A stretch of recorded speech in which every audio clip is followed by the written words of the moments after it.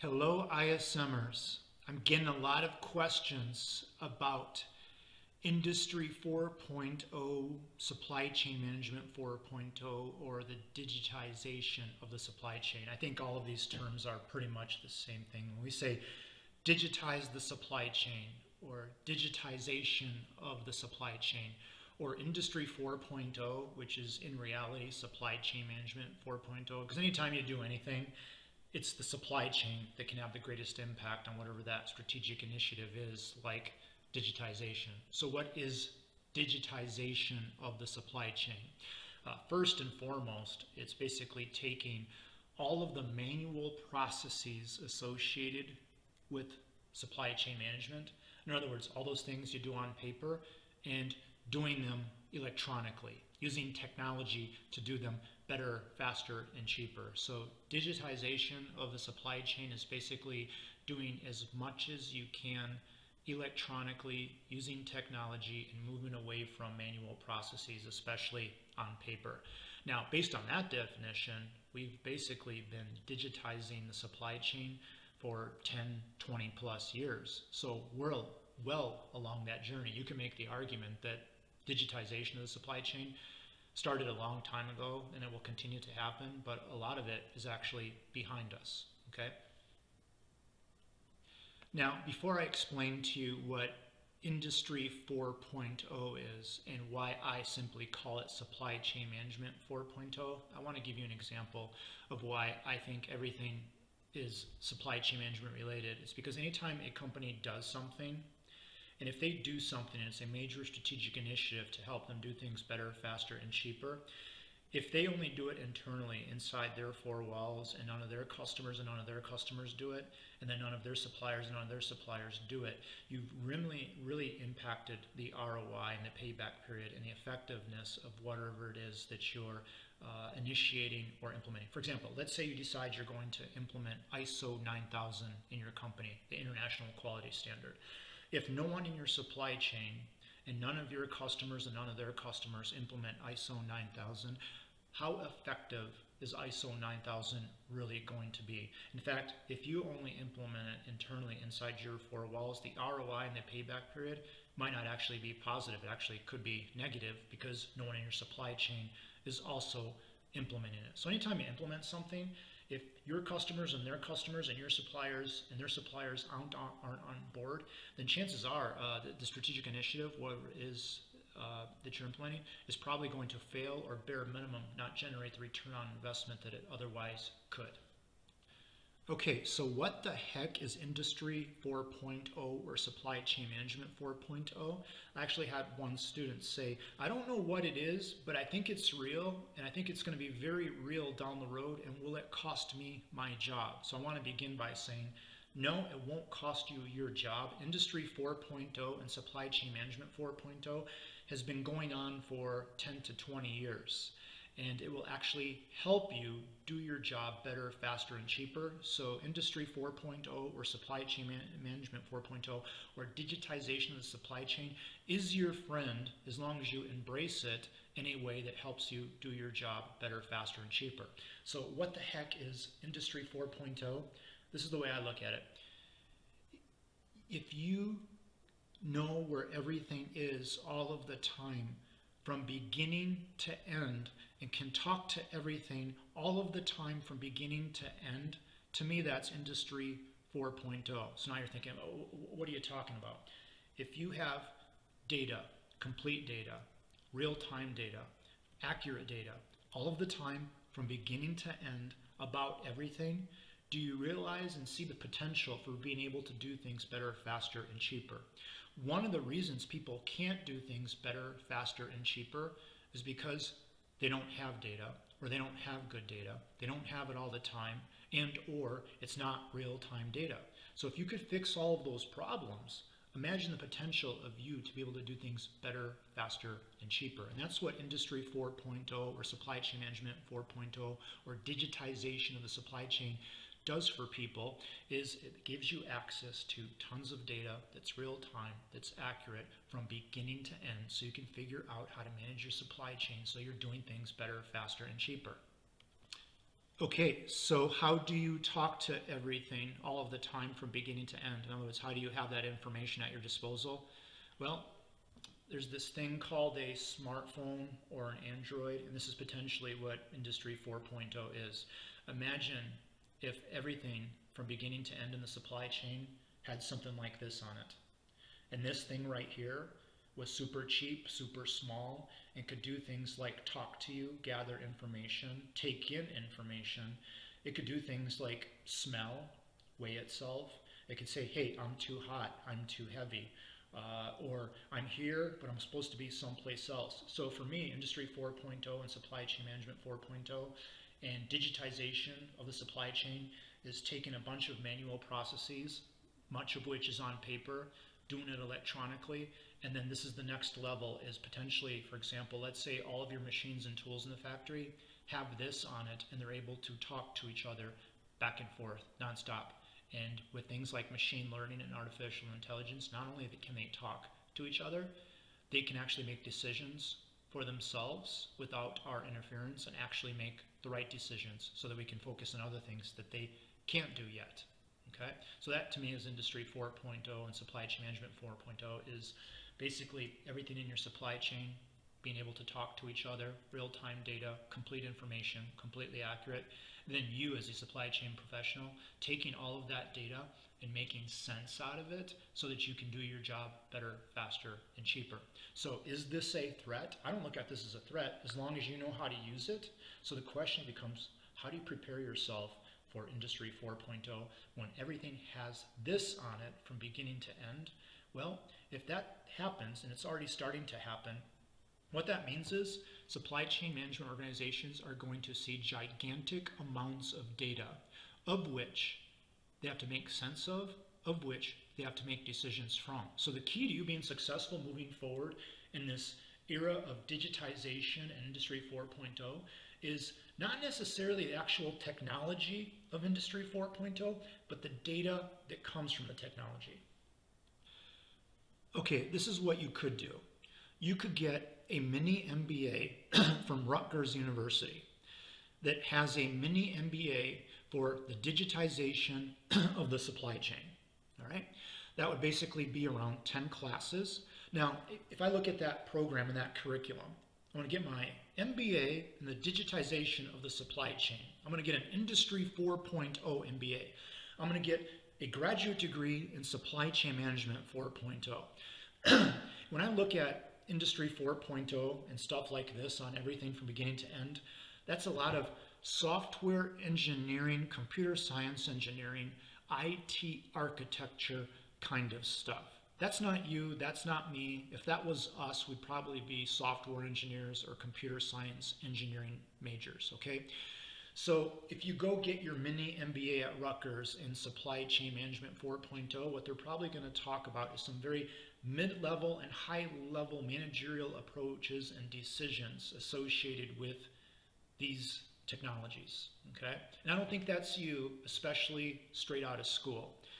Uh, so when it comes to the IT architecture and the engineering of it all, th those are for IT types. Yeah, someone's going to have to make a decision on what technology investments to make, especially the capital intensive ones. They're going to have to look at the payback period. They're going to have to look at the return on investment and things like that. That is typically going to be mid-level and higher level managers, and it might not be even managers from their supply chain management organization. It might be more from their technology side, the IT side. Uh, that are making those decisions in conjunction with supply chain managers. So if students ask me, hey, Sime, I'm an undergrad in supply chain management. During my 20s, what do I need to know and be good at in regards to Industry 4.0 and Supply Chain Management 4.0 and digitization of the supply chain? I've got some pretty uh, opinionated answers in that regard, and this is my advice, is don't get worked up on the actual technology and the architecture and uh, in your 20s. Just be great users of the technology. In other words, if you look at the outcomes of Industry 4.0, for someone in their 20s, it just means you're going to have gigantic amounts of data to look at at your disposal that you're going to have to make sense out of and then make decisions from, and you want to make the best decisions possible. So, my advice is be great with the data, become data scientists, learn how to uh, retrieve, collect, clean, make sense out of the data. In other words, basically minor in business analytics or data analytics. Uh, get really good at like uh, data mining and R and SQL and Python and Tableau and Power BI and Excel. All the stuff that we teach you in a business analytics minor per se is the stuff that you have to be really, really good at. The, the Industry 4.0 stuff, a lot of the actual technology, uh, you know, like I said, it's been going on for 10, 20 years, and yeah, it'll continue to go on. But you're not going to have to deal with the actual IT architecture of it all. Again, those are for the IT types, the software engineers, the computer science engineers. You're going to have to deal with the gigantic amounts of data, and if you can't make sense out of it in a way that helps you do things better, faster, and cheaper and make better decisions, then you'll become a victim of the technology. Not the technology specifically, but be a victim of not being able to make sense out of the data that comes from that technology. During COVID, I had a few students in their 20s and 30s and 40s become victims of COVID and the economy and downsizing, but very few. So I think it's really cool that I've had what uh, over 2,000 students over the last 20 years graduate from the ISM program, and I can count on one or two hands how many students total were victims of downsizing during COVID. And for my students that were in their 20s, if you ask me what was the common theme for those students that lost their jobs during COVID, I would say it was my students that weren't really good with data. Not technology per se, but data. The inability to make sense out of data and make better decisions from gigantic amounts of data and gather the information, clean it, make sense out of it, and then visually present it to managers to help everyone make a better decision regarding whatever problem it was that they were trying to solve. So if you're in your 20s and you lost your job during COVID, I wonder how strong were your technology and data analytics skills. For my students in their 30s and 40s that lost their jobs, I think what happened there was they didn't get a lot of cross-functional work experience in their careers and they hit a ceiling professionally. And businesses, especially publicly traded ones, if they don't grow and learn, they die. Professionally, as a person, you likewise, if you don't grow and learn, eventually you die. So if you don't get a lot of cross-functional work experience and then you hit a ceiling professionally because of that, and you're not growing and learning, and that's what happens when you hit a ceiling professionally, and that's a function of not getting cross-functional work experiences because you lose the ability to grow and learn if you're just stuck in one functional area. They, they were victims of downsizing. You know, people at very high levels, senior buyers, commodity managers, even directors, they never got out of purchasing. So a lot of our students get internships in purchasing. They graduate, they become buyers, and they get really good at buying stuff, but then it's 20 years into their career, they've never moved out of procurement, they hit a ceiling professionally, they're no longer growing and learning because they're not working cross-functionally and working in different parts of the company and maybe in different industries that they become victims of downsizing simply because they're not growing and learning. So when it comes to technology, Industry 4.0, all of that stuff, I see in your 20s, master the technology to the extent that you get really good with data and making sense out of it. Then longer term, get cross-functional work experience. Uh, don't pigeonhole yourself in one functional area.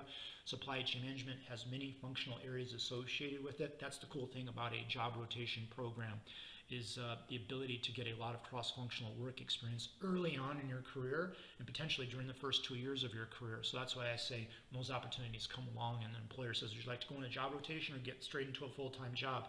Uh, make your decision uh, wisely regarding what you think, both what you need short-term and long-term. Okay, my final comment here. I'm going to exaggerate for effect a little bit. This is in a, in a perfect world. If I was in charge, this is what I would do: is if you think you want to major in business, you have to be wired a certain way, right? I mean, if you like little kids, you should be a school teacher. Uh, if you like helping people at the bottom of the socio-economic ladder, maybe you should go into social work.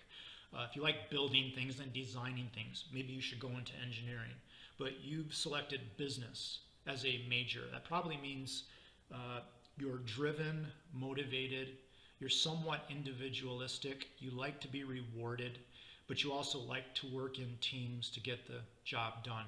You like being a part of something where the end game is a value proposition that delivers a product and or service. So I think you would agree that you have to be wired a certain way uh, to be a business major. And if you're not, you're probably in the wrong career path. But I'm assuming that you are wired in a certain way that's a good match with what typically a business major looks like. So in a perfect world, I think this is what I would do.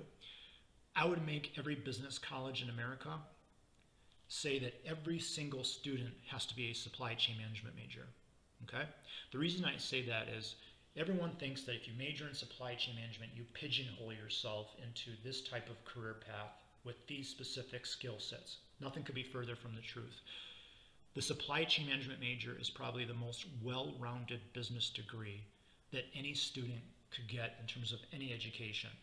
Okay, for example, we teach you to be leaders, problem solvers. We teach you a combination of soft skills and hard skills. And when you look at these soft skills like negotiation and these hard skills like data analytics, pretty much every job out there on the planet, no matter with what company, what industry, what functional area, if you look at the soft skills and hard skills that we teach you as supply chain management students, it's so well rounded you could say, well, for a lot of these soft skills and hard skills I'm learning, pretty much every job and every vocation actually requires them. What job doesn't require negotiation skills?